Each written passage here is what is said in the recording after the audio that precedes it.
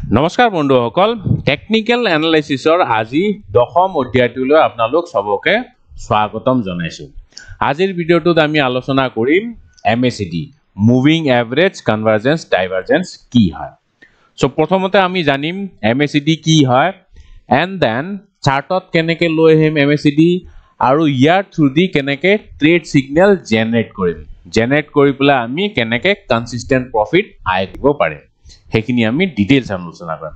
চ' ভিডিঅ'টোৰ শেষলৈকে নিশ্চয় চাব। ইয়াত মই এম এ চি ডিৰ বিষয়ে ডিটেইলছ আলোচনা কৰিম। কিছুমান ট্ৰেডাৰ্ছে কি কৰে পাৰ্চিয়েলি ভিডিঅ'টো চাই চাই পেলাই আকৌ এৰি দিয়ে। চ' তেওঁলোকৰ জ্ঞানখিনি আধৰুৱা হৈ থাকে। যদি আপোনালোকে এই ভিডিঅ'টো কমপ্লিট চাই এম এ চি ডিৰ বিষয়ে পূৰা জ্ঞানটো পাই যাব তেতিয়া আপুনি এম এ চি ডি লৈ পেলাই ধুনীয়াকৈ ট্ৰেডো কৰিব পাৰিব। চ' কমপ্লিট কৰিবলৈ নেপাহৰিব। আৰু যদি ভিডিঅ'টোত কিবা আপোনালোকৰ ডাউটো থাকে তো সেইটোও আপুনি সুধিবলৈ নাপাহৰিব। কমেণ্ট বক্সত লিখি পেলাই সুধিব মই তাৰ আনচাৰ নিশ্চয় দিম। আপোনালোকে ইমান টাইম দি পেলাই ভিডিঅ'টো চাই আছে মোৰো কৰ্তব্য আছে আপোনাৰ কুৱেশ্যনৰ আনচাৰখিনি দিম। চ' এনিৱে আজিৰ ভিডিঅ'টোত আমি আলোচনা কৰিম মুভিং এভাৰেজ কনভাৰ্জেঞ্চ ডাইভাৰ্জেঞ্চ কি হয়। চ' আগে আমি ডেফিনেশ্যনটো জানি লওঁ। Average convergence divergence, in short MACD, is a trend following momentum indicator. That shows the relationship between two moving averages of prices. So, ইমানখিনি কৈ পেলাই আপোনালোকক মই আমনি নিদিওঁ। মুঠতে এইটো এটা ইণ্ডিকেটৰ হয় যোনটো ইণ্ডিকেটৰত দুডাল মুভিং এভাৰেজ থাকে। ঠিক আছে? আৰু এই দুডাল মুভিং এভাৰেজক একেলগে এম এ চি ডি বুলি কয়। আৰু এই মুভিং এভাৰেজ দুটা কি কি হয়? দুটা মুভিং এভাৰেজ আছে এটা মুভিং এভাৰেজ হ'ল এটা moving average is calculated by subtracting twenty six day exponential moving average from twelve day exponential moving average so' twenty six day E M এৰ পৰা আমি twelve day E M A বাদ দি পেলাই যোনটো moving average পাম সেইটো হ'ল এম এ চি ডি ঠিক আছে? আৰু এটা কি থাকিব? Nine day exponential moving average যাক আমি ছিগনেল লাইন বুলিও কওঁ। চ' যোনটো twenty six minus twelve day exponential moving average সেইটোক আৰু যোনটো নাইন পিৰিয়ড মুভিং এভাৰেজ থাকে সেইটোক কয় ছিগনেল লাইন ঠিক আছে? চ' এই দুটা এম মুভিং এভাৰেজ লৈ পেলাই M A C D line form হয়। চ' ইয়াতে এটা এম এ চি ডি থাকে এম এ চি ডি আৰু এটা থাকিব আপোনালোকৰ ছিগনেল লাইন ঠিক আছে? চ' দুটা লৈ পেলাই M A C D form হয়। তো ঠিক আছে আমি এতিয়া চাওঁ চাৰ্টত কেনেকৈ M A C D line লৈ আহিম। আৰু ইয়াৰ কি কি প্ৰপাৰ্টিজ থাকে সেইখিনিও আপুনি জানিব লাগিব। তেতিয়াহে আপুনি ভালকৈ ইয়াৰ ট্ৰেড ছিগনেলখিনি গম পাব। ঠিক আছে? চ' ইয়াত মই অলৰেডি এটা মুভিং এভাৰেজ কনভাৰ্জেঞ্চ ডাইভাৰ্জেঞ্চ লৈ আহিছোঁ। চাৰ্টটোৰ তলত চাওক। ইয়াত যে দুডাল আপোনালোকে লাইন দেখা পাইছে সেই দুটাকে এম এ চি ডি বুলি কয়। চ' ইয়াতে এটা হ'ল আপোনালোকৰ এম এ চি ডি আৰু আনটো হ'ল ছিগনেল লাইন ঠিক আছে? চ' যোনটো ব্লু কালাৰ লাইন আছে তাক M A C D line বুলি কয়। এইটো মই আপোনালোকক দেখাই আছো ইনভেষ্টিঙৰ চাৰ্টত ঠিক আছে? চ' বেলেগ বেলেগ প্লেটফৰ্মত বেলেগ বেলেগ কালাৰ হ'ব পাৰে। যোনটো অলপ স্মুথ হয় সেইটো হ'ল ছিগনেল লাইন ইয়াতে দুডাল লাইন দেখা পাইছে। এডাল চাওক ধুনীয়া স্মুথ আৰু এটা অলপমান ৰাফ হয়। যোনটো স্মুথ হয় সেইটো ছিগনেল লাইন আৰু যোনটো ৰাফ সেইটোক কয় M A C D line ঠিক আছে? চ' ইয়াতে মই আপোনালোকক প্ৰপাৰ্টিজখিনিও দেখাই দিওঁ। এম এ চি ডিৰ কি কি প্ৰপাৰ্টিজ আছে। চ' ইয়াতে আহি পেলাই আপুনি ছেটিংছত আহিব। ছেটিংছত আহি পেলাই চাওক। যোনটো ব্লু কালাৰ আছে সেইটো হ'ল এম এ ডি লাইন আৰু ছিগনেল লাইনটো হ'ল ৰেড কালাৰ এণ্ড ইয়াত আৰু এটা কম্পনেণ্ট আছে সেইটোক হিষ্টগ্ৰাম বুলি কয়। এম এ ডি হিষ্টগ্ৰাম চ' সেইটোও মই আপোনাক দেখাম ইয়াতে। আগে আমি ছেটিংছটো চাই লওঁ। ইয়াতে চাওক টুৱেলভ পিৰিয়ড মুভিং এভাৰেজ আছে twenty six period moving average and signal line is nine period moving average ঠিক আছে?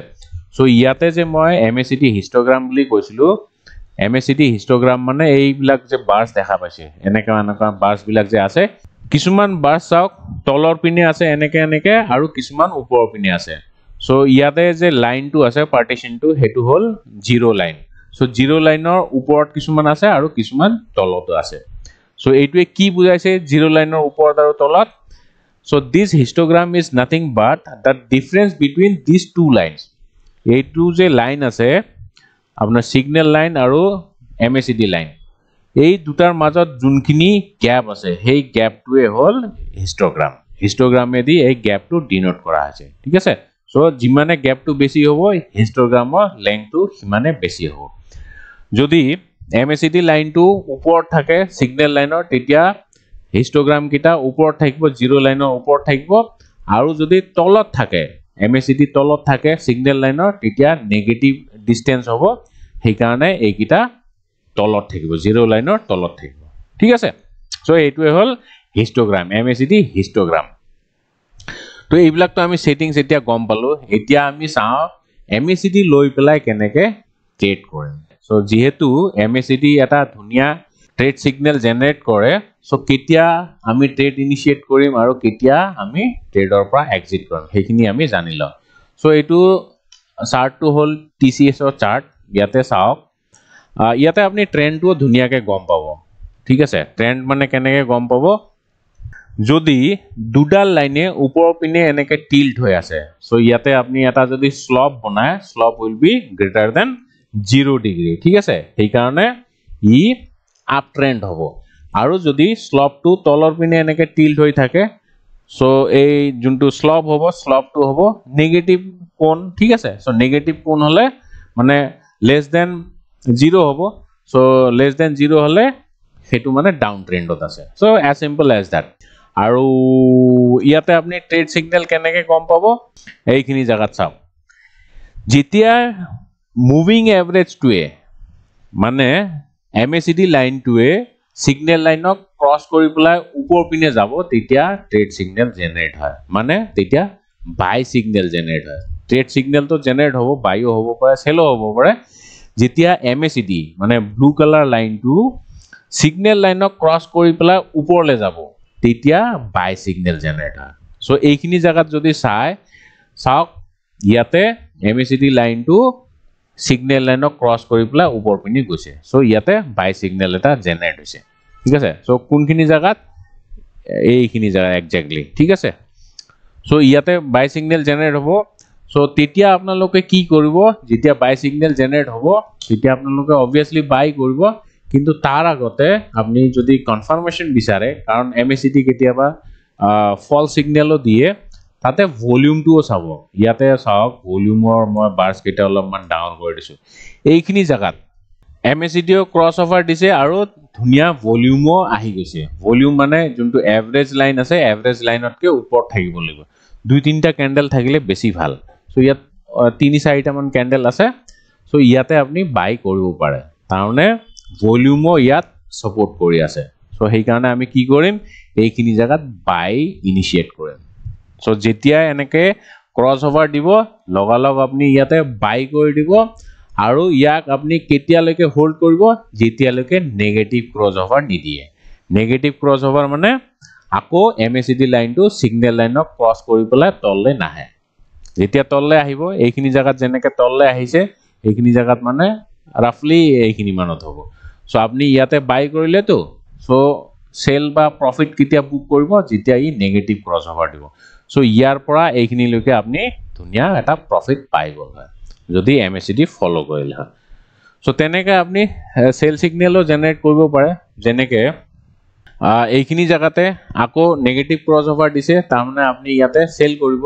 চাওক দুদিন পিছত ইয়াতে আকৌ চেল ছিগনেল জেনেৰেট হৈছে। চ' আপুনি এইখিনি মানত চেল কৰিলে কৰি পেলাই যেতিয়ালৈ ই পজিটিভ ক্ৰছ অভাৰ নিদিব মানে মুভিং এভাৰেজটো ছিগনেল লাইনৰ ওপৰত নাহিব তেতিয়ালৈকে আপুনি তাক হোল্ড কৰি ৰাখিব। ঠিক আছে? চ' এইবিলাক চব ডেইলি কেণ্ডেল হয় আৰু এইটো তেতিয়াহে পচিবল হ'ব যেতিয়া আপুনি ফিউচাৰ্ছত ট্ৰেড কৰিব। কাৰণ ফিউচাৰ্ছত আপুনি চেল কৰিব নোৱাৰে positional ট্ৰেডিঙত but the good news is আপুনি ইণ্টাৰনেটো M A C D signal use কৰি পেলাই ট্ৰেড কৰিব পাৰে। যদি ইণ্টাৰনেট ধৰি লওক এইটো ফাইভ মিনিট চাৰ্ট হ'ল ফাইভ মিনিট চাৰ্টত এনেকৈ ডি লাইন লগাই পেলাই ট্ৰেড কৰিব পাৰে। চ' ইণ্টাৰনেটটো আপুনি শ্বৰ্ট চেল কৰিব পাৰে। চ' এনেকৈ আপুনি ইণ্টাৰডে বা পজিশ্যনেল ট্ৰেড কৰিব পাৰিব with the help of M A C D line ঠিক আছে so' M A C D এটা ভাল ইণ্ডিকেটৰ হয়।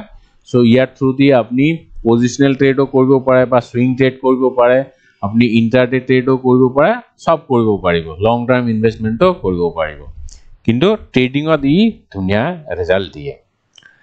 চ' আশা কৰোঁ এই ভিডিঅ'টোত মই এম এছ চি ডিৰ বিষয়ত যোনখিনি কথা ক'লোঁ সেইখিনি আপোনালোকে বুজি পাইছে। আৰু এই ভিডিঅ'টোত যদি আপোনালোকৰ কিবা সন্দেহ আছে ডাউট আছে বুজি নাই পোৱা কমেণ্ট বক্সত লিখি পেলাই নিশ্চয় সুধিব। তাৰ আনচাৰ মই ডেফিনেটলি দিম। ঠিক আছে? চ' আজিলৈ ইমানে। See you in the next video' thank you